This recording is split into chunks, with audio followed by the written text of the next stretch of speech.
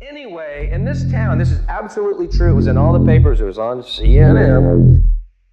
Apparently, everyone in this town saw these UFOs.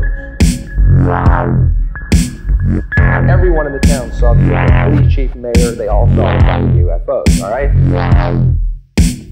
And I'm curious. I asked people what it was like. Oh, man, it was incredible. Incredible. People came from miles around to look at them. Armed.